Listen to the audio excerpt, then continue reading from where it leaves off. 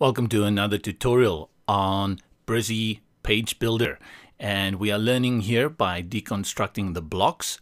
These blocks, of course, are coming with the free Brizy Page Builder that are currently available for everyone and the Pro that will be coming out in around August. Yes, uh, let's continue and I don't want these videos to be too long because I fear, incredibly big fear, that within a short while these videos are going to be redundant as new features are added, workflows change, and of course, once the pro version comes out, it's going to be very, very different to what we are doing now. New, um, new, new features, uh, new settings, uh, extra things like I hope gradient overlays, gradient overlays, and there's a lot of other features that we are all hoping for. And of course, we are also excited about maybe the integration of the themes from them. And that's a lot to look forward to. That's why, yes, I'm, I'm going to be very casual in these videos and probably release quite a few over the weekend when I have more time to record. So bear with my monologues and uh, I hope you can find something interesting here. And please, if you've noticed something that you, you didn't know before, um, let me know. You know, um, I'm constantly finding new things, and that is the problem in this version 1, which in my opinion is actually a beta version, is that because there are no tutorials available, there are no guides, uh, not all these features exist very openly. We don't know what's going on. And it could be that you came across something very fascinating. Somebody else can benefit from that. Right, so let's continue. Start building your page. And today I want to focus on a block that includes this element called the icon box. And we have to start always with a block and we get our blocks here and we are going to start with a Brizy block. I'm going to go in the light section, scroll down to the bottom, and then I'll find this block here. Easiest way to build sites. And let's quickly just analyze what we have here. We have a text element because anything that is a paragraph or that is a heading will be a text element. And then we have two columns. And inside these columns, you will notice that you have an icon, you have a title text, a text paragraph, and you have a button.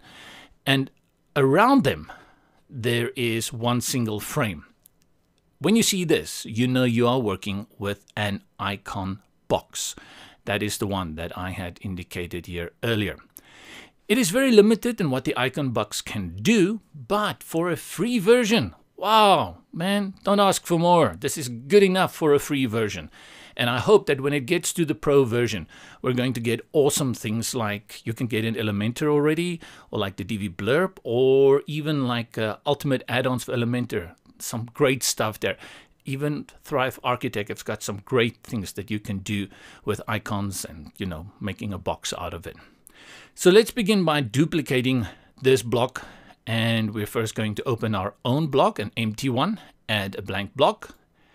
And I always go ahead and first delete the template they give me. Then we're going to start with our title over here, which is a text. Grab the text, drag it in, and then let's click in it and give it the same title. Easiest way to build sites. Center alignment, by clicking on the align once, put it in the center. And now let's look at what they did to it. On the typography, you can see it's a heading 2 styling. On the colors, they gave it the second swatch, this color. And then just to check on the HTML tag under settings, H2. Let's do the same. Click on it. Go to typography, heading 2. Give it the color, second swatch.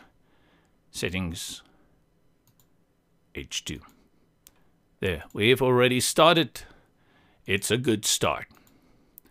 As I click on it, you can see the frame and this frame. If I hover over that frame and you compare it to the one at the bottom, you immediately see that one, the width is not as wide as the one at the bottom. And the reason for that constraint is the block settings.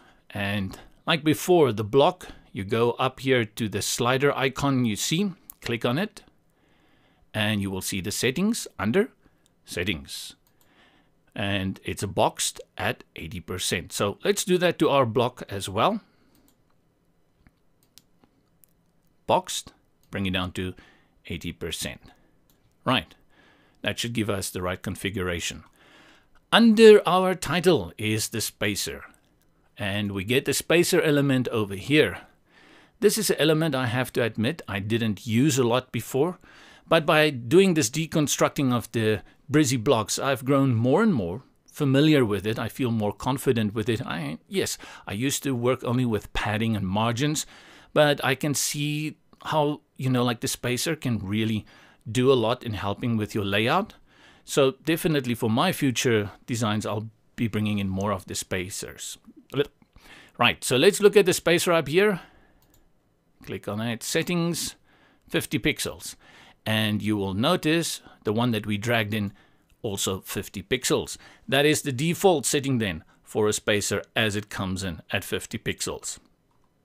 Now we need two columns. We don't need a row. There's no row here. We only need two columns. And we're going to do that again, going to add elements, going down to columns, drag them in, and it will give you two columns. So let's begin then by placing our first icon box in our first column. Grab the icon box and drag it in. The first thing you'll notice is the frame around the icon box with the little toolbar up here. And if you click on the settings on the toolbar, you only get what padding and margin and then for your RSS, CSS, and show on desktop, you know, visibility, you only get this. So how on earth are you going to be styling the icon and the text and the button if your settings only allow you to do this? And this makes Brizy very unique. Brizy has taken these elements and put them in a container for you, but in reality, they are still separate elements. So if you want to stylize the icon, you click on the icon. And look at that. The two settings for the icon shows up. And if you want to stylize the paragraph, you click on that. You get your toolbar for that. Same for the button. Click on it.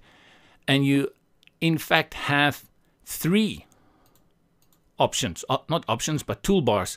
Each one stylizing or styling the different elements in this box separately. So let's look then at this icon. What do we have up here? We can see it's at 64 with spacing at 20. Let's look at this one.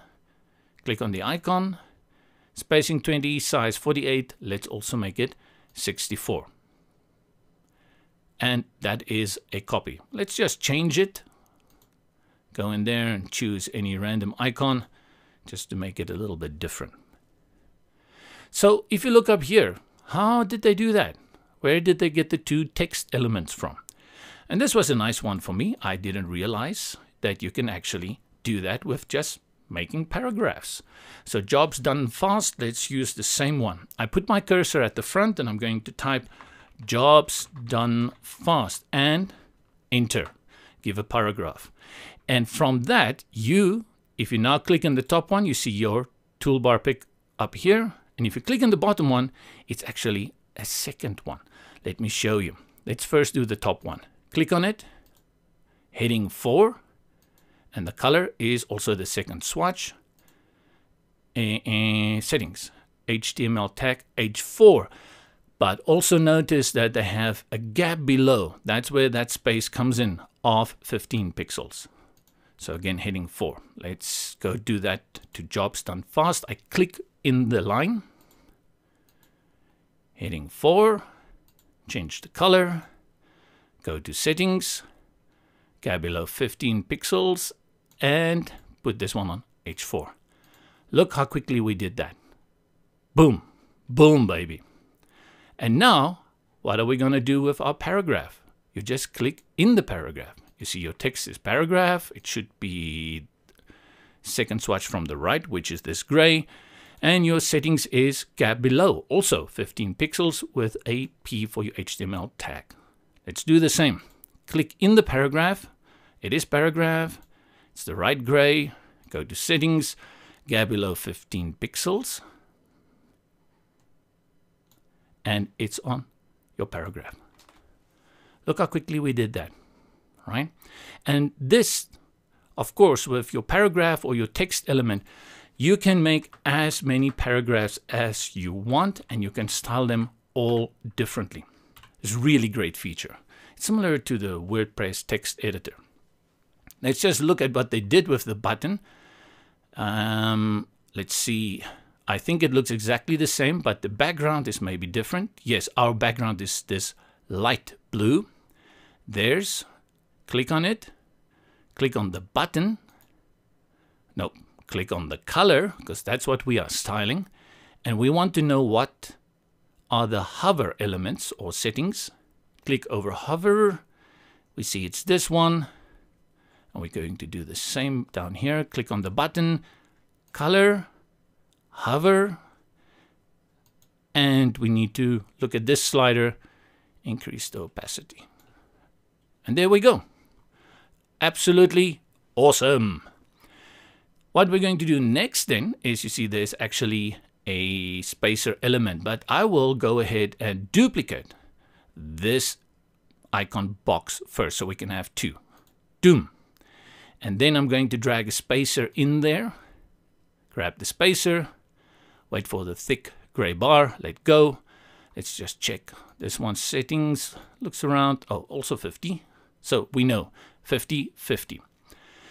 But just to look at our margins for the column, you can see that these frames go quite tight to the column. But if you look at this one up here, you can see there's a lot of white space on both the left and the right. And that would be your column settings. So we click on the blue column, go to settings, more settings. And then remember, usually your padding will be 515, 515. That is like a default setting. So we have 545, 40. And then we go to our column, go to settings, more settings. You see that's 515, 515. We're going to change these two to 40. I just type in the 40 and enter. And there we go. Look at that. It's exactly the same copy. I'm just going to change this icon for show. Let's do that one. And not to create more work for ourselves, we are going to duplicate this entire column. And we do that by going to this column, delete it. Ah, delete it.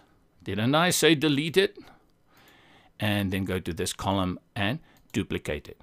Right. Just to check if our margins in the second column is the same, click on this one, settings, more settings, 545, 40, yes. And because we have duplicated this one, should also be 545, 40.